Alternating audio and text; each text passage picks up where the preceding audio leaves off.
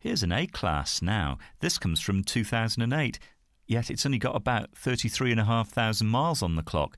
Not too many. Very pleasing to drive with its manual gearbox and a 1.5 petrol engine.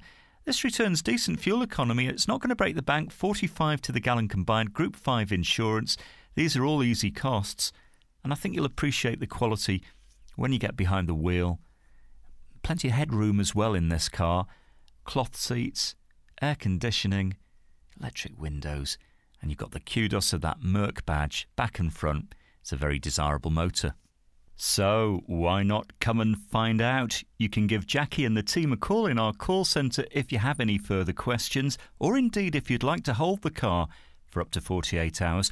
Bring your licence with you, have a test drive with no obligation, and discover this great car for yourself at Fords of Winsford.